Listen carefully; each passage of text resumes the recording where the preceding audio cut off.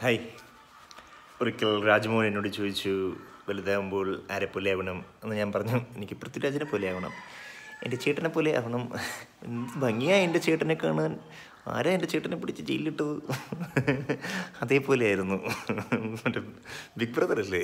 അതേപോലെ ഒരു അനിയനായിരുന്നു ഞാൻ. പൃഥ്വിരാജിനെ പറ്റി ആരെങ്കിലും എന്തെങ്കിലും പറഞ്ഞു കഴിഞ്ഞാൽ അത്രയ്ക്ക് ഇഷ്ടമാണ് ഭയങ്കര ഇഷ്ടമാണ് പൃഥ്വിരാജ് എന്ന് വെച്ച് കഴിഞ്ഞാൽ ജീവന്റെ ജീവനാണ് ആ പക്ഷെ എന്തോ എനിക്കിപ്പോൾ എന്റെ കോളേജ് സമയത്തൊക്കെ എനിക്ക് എന്ത് രസമായെന്നറിയോ ഇറങ്ങിയ പടങ്ങളെല്ലാം ഇഷ്ടമാണ്. എല്ലാ പടങ്ങളും ഇഷ്ടമാണ്.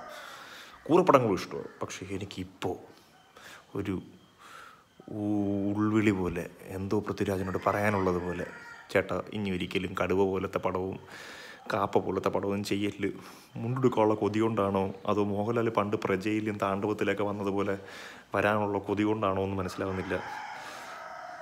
വേണ്ട. ഇമോഷണലി കണക്റ്റ് ആവുന്നില്ല. ചെയ്യാൻ വേണ്ടി ചെയ്തതുപോലെ. പാൻ ഇന്ത്യനാക്കാൻ വേണ്ടി ചെയ്യണ്ട. അങ്ങ് ആവണമെങ്കിൽ ആവട്ട്. വെറുതെ ഷാജി കൈലാസിനെ കൊണ്ട് ചെയ്യിപ്പിച്ച് അമ്പത് കോടി കളക്റ്റായി എന്നൊക്കെ പറഞ്ഞ് തള്ളണ്ട. കിട്ടിയില്ല. പൊട്ടി.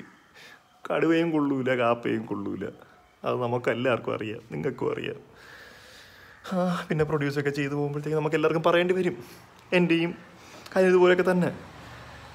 എങ്ങനെയുണ്ടെന്ന് ചോദിച്ചാൽ "ആ, അടിപൊളിയായിട്ട് പോകണമെന്നൊക്കെയല്ലേ നമ്മൾ പറയത്തുള്ളൂ. പിന്നെ ഇനി ആ ആടുജീവിതം പോലത്തെ പടങ്ങളൊന്നും എടുത്ത് വെക്കല്ലോ.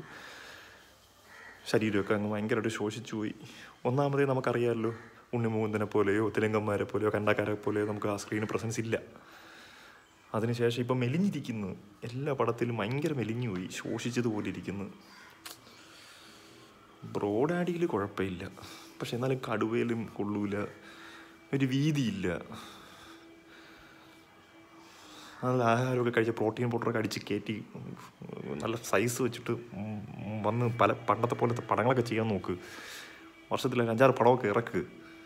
അപ്പോൾ അതിൽ രണ്ട് മൂന്നെണ്ണൊക്കെ പാൻ ഇന്ത്യനാവും അപ്പോൾ നമുക്ക് എല്ലാവർക്കും സന്തോഷമാവും അല്ല പാൻ ഇന്ത്യൻ ആക്കാൻ ആണെന്നും പറഞ്ഞ് ഒരു പടം ഇറക്കിയിട്ട് അത് പാൻ ഇന്ത്യൻ ആവാതെ ആയിട്ട് പിന്നെ പാൻ ഇന്ത്യൻ ആണ് ആണെന്ന് പറഞ്ഞുകൊണ്ടിരുന്നിട്ട് കാര്യമുണ്ടോ? മനസ്സിലായോ? അപ്പോൾ ഇനി എന്തെങ്കിലും പറയാനുണ്ടെങ്കിൽ ഞാൻ പറയാം. എനിക്കറിയാം ഇനി കുറേ പടങ്ങൾ വരാനുണ്ട്. നല്ല അടി സാലാറിലൊക്കെ അടിപൊളിയായിരിക്കും എന്നറിയാം. എമ്പുരാനൊക്കെ ഡയറക്ഷനൊക്കെ പൊളിയാണ്. പക്ഷെ വിഷമം കൊണ്ടാണ് എനിക്ക് എനിക്കിങ്ങനെ കാണണ്ട. ഒടിയനിലൊക്കെ മോഹൻലാലിനെ പറ്റിപ്പോയതുപോലെ ഒന്നും പറ്റുന്നത് എനിക്ക് കാണാൻ വയ്യ. മോഹൻലാൽ ഇനി തിരിച്ചു വരുമോ ചിലപ്പോൾ രണ്ട് മൂന്ന് വർഷം കഴിയുമ്പോൾ അതിന്റെ ആഫ്റ്റർ എഫക്ട്സ് ഒക്കെ ഇനി മാറി മൊത്തം പഴയ പോലെ ആവുമായിരിക്കും. എന്നാലും നിങ്ങൾ എന്തോന്നൊരുമാതിരി മെലിഞ്ഞു പോയി തീരെ മെലിഞ്ഞു പോയി ഒരു സ്ക്രീൻ പ്രസൻസ് വരുന്നില്ല ഒരു ഗാംഭീര്യം വരുന്നില്ല. മുണ്ട കൊടുത്ത് ഒരു ഡയലോഗ് പറയുമ്പോഴത്തേക്കും ശബ്ദം മാത്രമേ വരുന്നുള്ളൂ. പിന്നെ അതും ചെയ്യരുത് ഇനി പ്ലീസ് ടാറ്റ.